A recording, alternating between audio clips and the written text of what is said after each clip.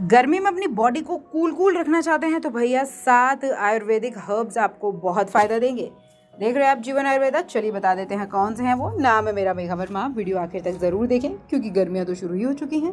गर्मी आ चुकी है दोस्तों कूलर और एयर कंडीशन में समय बिताकर गर्मी को कम करना सेहत के लिए बहुत नुकसानदायक है। ये शरीर से सारा पानी सूख लेती हैं, लेकिन हमें इंस्टेंट राहत देने के लिए ये सही रहती हैं। लेकिन वैसे ये शरीर को काफ़ी नुकसान पहुंचाती है।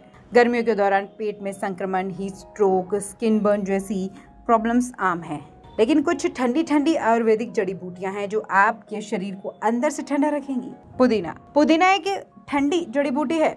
इसके ठंडे गुणों के कारण ये गर्मियों के दौरान आपके दिमाग और शरीर को ताजगी देती है। पुदीना शरीर को ठंडा रखने के अलावा शरीर को डिटॉक्सिफाई करता है और गर्मियों के दौरान पित्त दोष से निपटने में बहुत मदद करता है। एलोवेरा। एलोवेरा भी बहुत ज़्यादा फ़ायदा पहुंचाता है गर्मियों में। सनबर्न से लेकर ये आपकी स्किन की बहुत सारी प्रॉब्लम्स को दूर करता है। गर्मियों को कम करने के लिए आप इसका गूदा निकाल कर अपने फेस पे अप्लाई कर सकते हैं, आप इसका जूस बना के भी पी सकते हैं।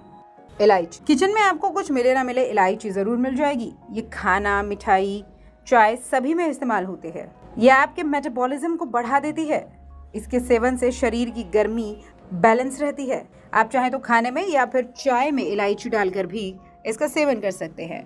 तुलसी। तुलसी तो भाई हम सब की प्यारी है। ये बहुत सारी बीमारियों को भी रोकती है। राम बाण है ये।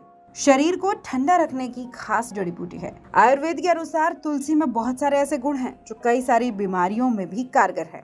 इसके साथ ही ये आपको क्लीन कर देगी डिटॉक्सिफाई कर देगी आपका शरीर, साथ ही शरीर को ठंडा भी रखेगी। आप तुलसी का इस्तेमाल चाहें तो चाय के रूप में कर लें, या तुलसी का आप काढ़ा बना के भी इसका सेवन कर सकते हैं। मुलैठी। मुलैठी को चबाकर आप अपने गले में ठंडक महसूस कर सकते हैं।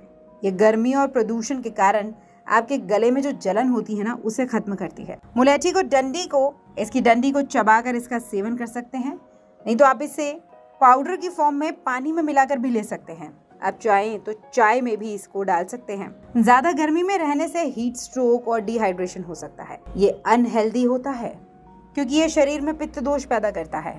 फिर आपका मेटाबॉलिज्म भी कमज़ोर होता है। इसलिए हमारी सलाह है कि आप गर्मी के मौसम में अपने दिमाग और शरीर दोनों को ठंडा रखें। अगर ज़रूरी हो, तभी आप घर से बाहर निकलें। बिना बात की तफरीबाजी के लिए घर से बाहर ना निकलें, वो भी गर्मियों के मौसम में। और ठंडा रखना है शरीर को तो ये जड़ी बूटी आप इस्तेमाल कर सकते हैं। देख रहे थे जीवन आयुर्वेदा नमस्कार।